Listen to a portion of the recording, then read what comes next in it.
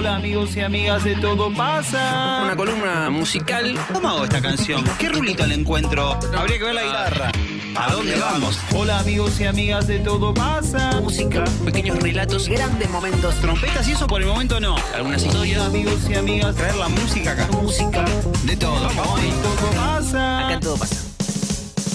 Sí. Qué buen arranque, The End of the World, hermosa canción. ¿Cómo están? Hola, Hola, ¿cómo va? Buenas. Buenas. Oye, hace eh, Clemente, qué lindo. eh, Hace un montón Hace que- mucho no nos vemos, Clemente. Eh, me encanta verlos nuevamente, es un hermoso reencuentro. Eh, nos tendremos que haber dado un abrazo que De actor. de la magni- de actor, que es la Eh, magnitud de es este verdad, encuentro. abrazo de melómano. Ahí va. Abrazo de Emoción. camarín, de Sí. camarín. Abrazo de camarín. Ese es el de músico. Estamos escuchando cosas. ¿Estuviste en Reino Unido casualmente? Estuve en, estuve, Sí, estuve en de Londres, En Londres. Berlín y Madrid, sí. Qué lindo. Bueno, la, comparativa de la foto épica con la- tu foto, digamos, de tapas de discos. Muy buena la Sí, de sí, Siempre sí. Morning Glory, ¿no? Estuve en la calle de Morning Glory y también fui al departamento del que vivía Bowie y también pasé por un estudio, pasé por el estudio donde grabó Life on Mars Bowie y por la fui a Ivy Road y a la terraza donde tocaron los Beatles por última vez. Hermosura. Boludeces que uno hace porque Sí, le gustan, sí. ¿no? Porque están ahí. Iría para eso. Abbey Road cruzando la calle, está la foto. No, no, no, no puedes hacer más la foto porque ¿Cómo? hay un que? tránsito de Ah, sí, sí, sí, y pero la gente lo hace igual. Creo que en algún momento, no tengo muy claro, alguien me dijo, un guía nos dijo en un momento que ya hasta bien, no sé si multaban o pensaban en multar a la gente que paraba el tránsito. Oh. Sí hay una cámara 24 horas que vos te puedes conectar para que te vean desde ahí. Ahí va. Pero Sí. no, no, te sacás la foto desde la puerta de Tembla- afuera. chico de Tiranos Temblando había hecho algo ahí, me Sí, parece. sí, un Sí. analizando humanos de la gente que cruza Ah, el road. humanos. Exacto. Yo he visto caras, en, eh, yo hice esa foto. Chetas. Y he visto caras eh, desde el auto diciendo, ¿por qué está frenado en el medio de la calle? Como sin entender qué es lo que está haciendo la gente que hace. Bueno, a mí eso me fascina, que es como son lugares que hoy son re comunes, pero que tuvieron, digo, tienen su placa, pero no sé, la terraza de Apple Corps, que hoy es una casa de Abercrombie and Fitch, es donde qué tocaron ellos. tremendo Es decís. tremendo. Igual eso, te quedaste bueno. a ver alguna cosita ahí. No, no, no es tres, pero bueno, la gente pasa así nomás. Pero bueno, es muy importante. Mira, esta es la cámara en de vivo, en. Abbey Road. En este momento podría haber hecho la foto tranquilamente porque está Claro. tranquilo. Mira qué lindo clima, ¿no? En remerita, sale a Eso, trotar, sí, Dejé buen clima, ¿eh? No tuve lluvia en Londres en una semana. Si no en Londres, es que no llueve en el mundo. Che, pero veamos esto, nos quedamos un rato viendo esto y ya fue, boludo. ¿no? la vez número 10 que ponemos la cámara de Abbey Road y la vamos a poner 10 veces más. La Estaba ponemos cada linkeado. tanto, ponemos, Pasa que ¿no? Ahí cuando está, pasás hay por uno ahí- haciendo la foto, no, mentira. Cuando pasás por ahí también decís, bueno, a ver, para- a ver si justo estoy cinco minutos y veo que pasa alguien Y aparte, importante la, mul- ahora. la porque el multa de estudio existe. cuánto. Y bueno, Claro. Sí, ya fue todo. Y si te pisan, y bueno. Eh, No vale la anécdota. Vale la anécdota. Sí, sí, sí. Eh, nos quedamos entonces en Reino Unido, porque la columna de hoy va a estar por esas latitudes, va a tener que ver con eso. Gonza, eh, con- día. Buen día. Buena, Feliz buenas día. tardes. Feliz día del operador. Feliz día, Gonzalo. No Operador de sabía. radio, vamos, grande, Gonzalo. Gonza. Un número uno, Gonzalo. Gonza. Gonzalo en el 00 y vamos a poner un poco de clima a esta columna. Porque esta semana eh, OK Computer estaba cumpliendo algo así como 27 años. Eh, Pablo Joni eh, cumplió 30 años en febrero, creo.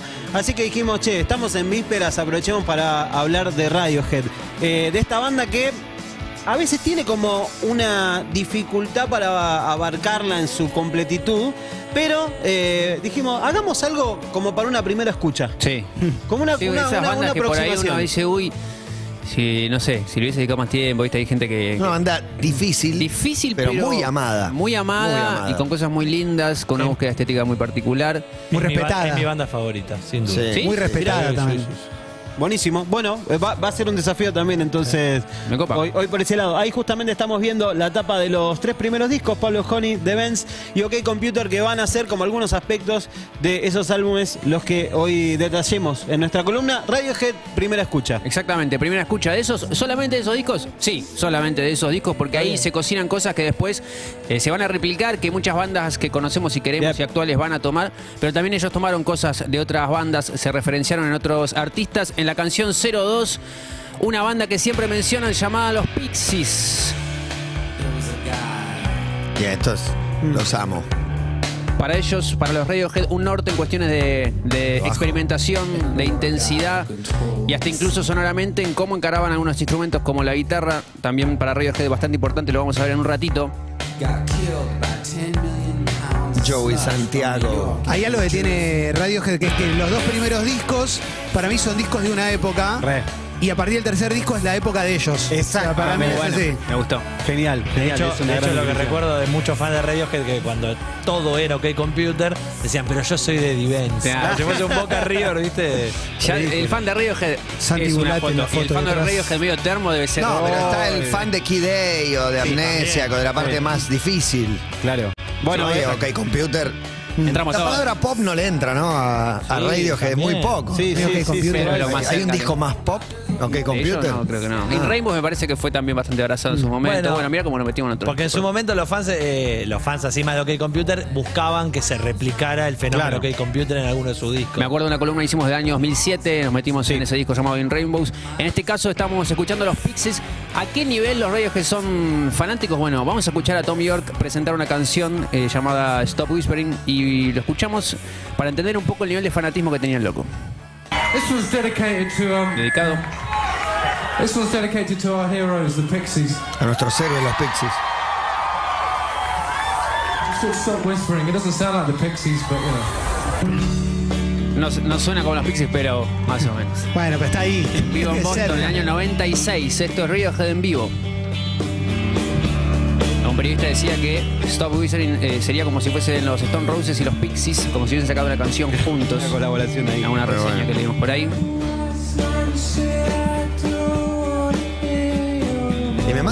Arrancaste hablando de Londres con una banda norteamericana como R.E.M. Claro, Eh, porque- Acá aparecen los Pixies que son de Estados Unidos también. Porque vos sabés que había un una, había una cuestión como, como también de época, de esto que decíamos de Pablo Honey y de, de Benz, de mantener como esa cuestión por ahí el lado más eh, del rock alternativo Claro. y del grunge, que también se iba a trasladar a, a esos, a esos primeros sonidos de, de- de esos primeros dos discos.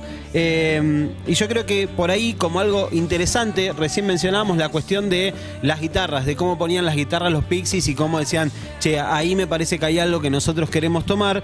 Y sobre todo porque hay un común denominador, me parece, que entre Pixies y, y- y Radiohead, que es como esa cuestión como de tensionar, ¿no? Sí, como de, de- de- de- y de calmar momentos, que la canción tenga como una, una, una búsqueda de una intención y que de repente quiebre y la cosa pase a ser distinta. Un poco eso eh, buscaban referencia. A la vez hay una cosa que es eh, debe ser tremendo, que es que tu ídolo te empieza a quedar chico, porque hacer algo tipo Pixies a radios que en un momento ya no le Ya no le alcanza. Digo, ok, Eso es un rock de ya- estadio, meten Claro. 100.000 personas. No, y además porque, eh, no sé, eh, Paranoid, Paranoid Android dura como 7 minutos, digo, Claro. y es un tema que tiene 33 partes, ya Pixies pasa a ser otra cosa. Claro. Sí, sí, va- vamos a, vamos a meternos ahí en, en- un ratito.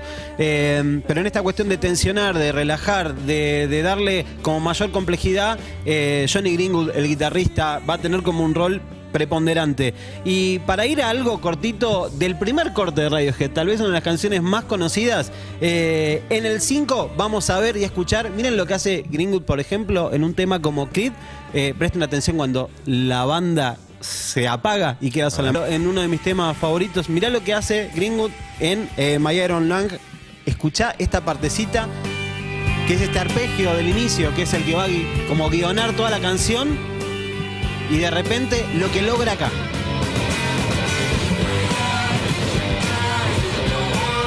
Esto es 100% Radiohead. Tensión, contrastes, esto de tipo de partes como súper súper tranquilas, de repente a momentos súper tensionados Muestra y de bien. repente de vuelta.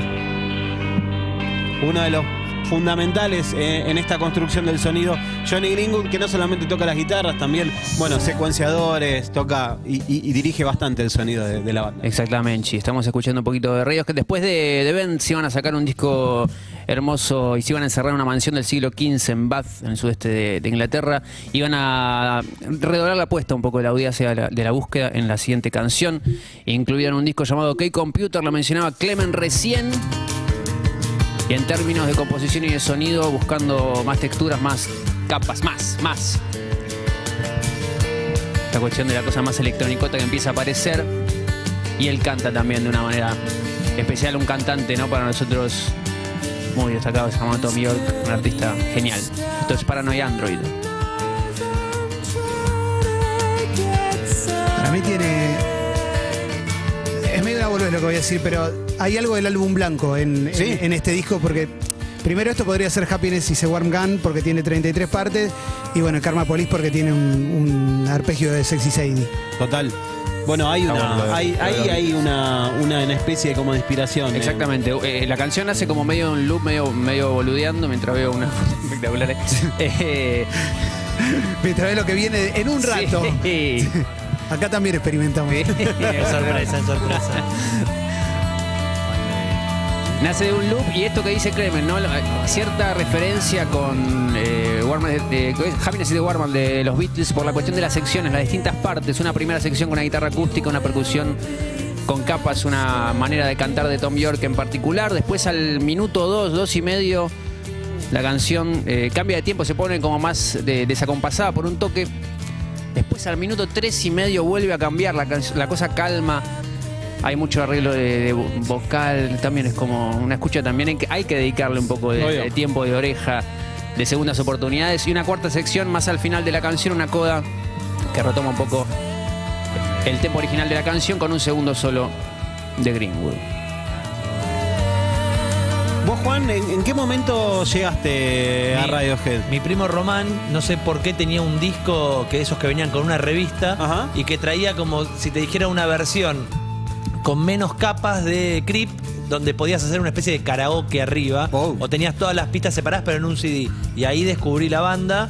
eh, y después, bueno, ahí me pasaron los discos. Yo entré en Divens. Entré Claro. eh, en, ese, en ese segundo disco solamente de, de Pablo Jani conocía a Creep en su momento. Claro. Y no lo solté nunca más. Es la única banda de la cual tengo toda la discografía completa. ¿Se transforma en tu física. banda favorita en algún momento, en algún disco, en algún cosa, en algún Eh, concierto quizás? No, bueno, sí. eh, mi mi el concierto de mi vida es eh, la primera acá? vez que vine a ¿Club Ciudad? Radiohead en ¿Club Ciudad? Club En Jeva, Ciudad. Club Ciudad, Club En Ciudad. Club Ciudad fue el primero, un 24 de marzo fue. Que él hace una mención, ¿no? Antes Sí, la Ed. O'Brien lo hace en realidad. Ah, el otro guitarrista es el que habla, que es otro gran cantante, es el que le hace por lo general coros a Tom York. Y sí, yo creo que con este disco. Yo recuerdo la primera vez que vi el video animado de Paranoia Android y fue creo que la primera canción que me aprendí la letra en inglés. Yo no sabía Lindo. cantar Lindo, como una lindo, letra en inglés y esta es la primera que me aprendí. Ed O'Brien sobre esta canción decía queríamos hacer un cruce de eh, Rapsodia Bohemia de Queen y los Pixies. Claro. Dice, no, no se, no se terminó convirtiendo en la Rapsodia Bohemia de los 90, no es lo suficientemente compleja eh, y además contiene demasiada tensión. Es la canción que le poníamos a nuestros amigos eh, cuando querían ver en qué andábamos. Dijimos, bueno, el single es este, el disco. Y los amigos diciendo, ah, si este es el single del disco que tiene 800 partes. ¿Qué, qué, ¿De qué se trata ¿Cuál, el cuál es el temita difícil? Claro, ¿el tema cuatro cuál es? ¿El En oscuro realidad, cuál es? Todos son más fáciles igual que este después, pero bueno. Es una época también muy MTV, ¿no? O sea, Totalmente. los videoclips que de Hockey Computer fueron muy icónicos para Gran MTV. pie, nos da Juan Ferrari el próximo corte, el 08, Karma Police. Dice, Ahí, La- ahí. eh, Lucky creo que tiene también, bueno, Paranoia Android, eh, Karma Police. eh, y lo otro creo que es como el, el- el triángulo que conforma eh, la cuestión Radiohead para, para beginners o para primeros escuchantes, es eh, las cuestiones de las letras. O sea, las letras empiezan a tener como letras introspectivas que empiezan a hablar de cosas complicadas, inclusive algunas como de, de- un Tom York antisistémico, como puede ser eh, Fake eh, Plastic Trees, que es como la crítica al capitalismo, a toda esa cuestión de, como bueno, desde el nombre indicado ahí, medio como, sí, todo esto, toda esta cultura plástica moderna. Y después con meterse, no sé, anda, en la 9 eh, hay creo que una canción que, que el propio Tom York dice, me cuesta creer, eh, dice, nuestras canciones más tristes tienen algún lugar, al menos tenue, que asoma una resolución. Dice, Steel Spirit no tiene resolución. Es como un túnel donde al final no hay una luz. Es un túnel. Al final del negro. túnel. Hay otro Eh, túnel. Hay otro túnel. Igual eh, hay una cosa que es que vos podés tomar una postura desde las letras y todo, pero si tu música sigue siendo agradable, vos estás construyendo como un tótem sobre el cual te vas a apoyar. Para mí, a partir de OK Computer, lo que pasa es, ahora vamos a hacer lo que se nos cante. ¿Qué va- a ¿Con qué van a salir? A full. Y su carrera desde ese momento hasta ahora es hacer lo que se les canta, siempre con un nivel superlativo. Es Total. como, lo hacemos, mira, y te sigue gustando. Es Bueno, increíble. Pero hace un rato hablábamos de si, si puede ser considerado un, un sonido pop. Bueno, es justamente, parece que Radiohead es esa amplitud, de decir, bueno, desde algo pop, algo clásico, metamos un concepto eh, en el medio y aparte, todo esto que tenga un marco visual. No es el ingrediente principal, tocan el, el pop, podrían rozar. Para mí Lo es que el pasa disco que- no que es- computer. Lo que pasa es que estamos en estos, tres, en estos tres discos, pero la ruptura viene después de OK Computer. Obvio. O sea, con ese disco, esa consagración a Key Day, que era una experimentación, la mayoría eran máquinas, ya era otra cuestión. Sí, sí, ahí de hecho, de hecho, por ejemplo, en Paranoid Android van a tener un uso de un secuenciador, pero por ejemplo, samples empezaban a usar en Key Eh, No, y- secuenciadores y para y muchos todo. hoy Key Day es el disco definitivo de Radiohead, pero en ese momento era un experimento, era un invento. Claro. Yo recuerdo hace poco Tom York eh, hablando de Billie Eilish como la artista que él recomendaba por, sobre todo la, la novedad. También lindo. Lindo reconocimiento y también cruce. pensando en, en ella con el hermano ahí cocinando toda la música, después terminó girando por todo el mundo. Esta canción suena mañana a las solo hits, ¿esto es cierto? Sí, Bueno, tenemos. tres y media más te- tenemos los hits mañana en el Roxy entradas por All Access. Eh, me gustaría dejarles una, una pregunta. ¿Para ustedes son Radiohead son más eh, virtuosos o creativos? Para mí Buena la cosas. pregunta. Sí, pero obliga- obligado a elegir te pongo más creativo que virtuoso. Para mí, no más sabría creativo- justificarlo. Para mí también. Más Pero sabría pendientes en justificarlo. cambiar que en, que en hacerlo mejor, digamos. Sí. Sí, que, que en el lucimiento personal, digamos. eh, Creo que quieren que se luzca la obra por la creatividad que le ponen todo Yo tiempo. creo que eh, gana la creatividad. En Johnny Greenwood está muy empatado para mí. Le- le- digo, la, la- la cosa del Siempre un virtuosismo guitarrista. Es un tipo que es un virtuoso también, eso está, está claro. Pero bueno, la creatividad es, es única. De hecho, Radiohead no les alcanza. Es- digo, Claro. hoy, hoy tienen The Smile también. Total, Sí, sí. total. Eh, tenemos una playlist que va a estar tuiteando nuestra compañera La Chini Chino. eh, Muy bien, en muy arroba bien. todo pasa 1043 que vamos a incluir algunas de estas canciones que hacen este acercamiento a la primera escucha eh, de Radiohead. Eh, bueno, vemos que hay ahí todo montado una cosa atrás. nos hacemos los boludos, divina. pero hay un granadero Eh, caminando por el. Hay un granadero que. Los sueños tienen significado. Mi granadero. sueño, dos puntos, un granadero No, de la está terraza. haciendo- está haciendo Soñá- la vigilia. Soñalo bien fuerte que se hace realidad y un día lo decimos al aire, parece un chiste, una locura, y un día hay un granadero caminando en nuestra Que terraza. es lo que siempre soñamos, en definitiva, lo que Claramente. siempre queríamos. Tiene credenciales, todo. Sí, eso nada, te y si presenta. le hablas, Está- no te está habla. homologado. Estamos Si le logrados. hablas, no te contesta. Es un granadero verdadero. Qué granadero, Dios mío. no te va a contestar, ¿eh? Muy bueno, no te va a No contestar. te va a contestar, ¿eh? Pero si no va a un Armando, su- Armando. Eh, compañeros, gracias por este Gracias, momento Banonis. compartido. Muchas gracias. Muchas Una gracias a canción de- ustedes. ¿Con cuál?